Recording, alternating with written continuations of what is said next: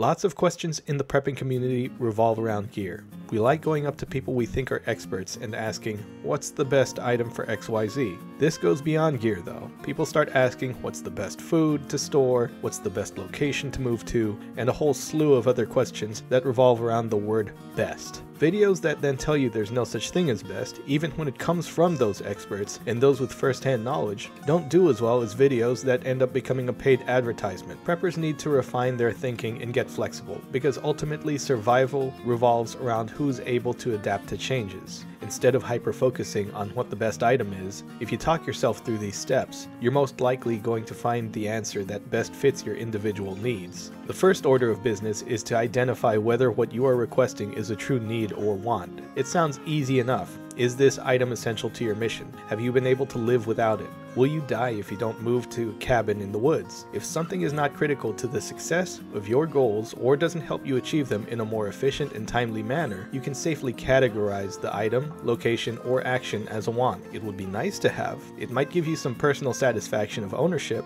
but it didn't make your life more efficient in any way. A true need will solve a problem, cut down a two hour job into a one hour job, or move you closer to critical medical care that you or a loved one now needs. To top it off, everyone has a different set of needs, so you can already begin to question anyone trying to push one product as the only solution for everybody for everything. Not everyone who lives in the city needs to carry a fire steel.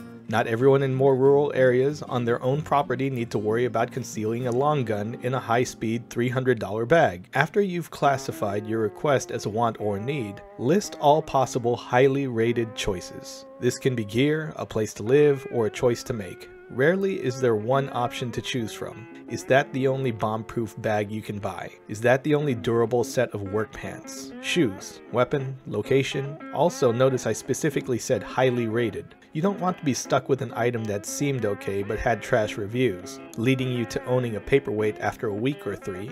You don't want to make a life-changing move to the middle of the countryside as a lifelong urbanite and you find that rural life is way more dawn to dusk work rather than lazy days on a cottage roof. That's part of your own research to do. That goes back to everyone having different individual needs. For example, there are very minor differences between the overall durability between Eagle, Tactical Tailor, or London Bridge Trading, especially when we're talking about the 1000 denier Cordura bags that they've put out. Stitching is usually overkill and tight, the quality is top notch, and the material can be so durable it starts out super stiff. All of these companies have excellent reputations in whatever niche they're filling. If they are choices that appeal to you based on rating and your determination of a need that absolutely must be taken care of, we can now move on to the last step, which is identifying the minor details that suit your personal preferences.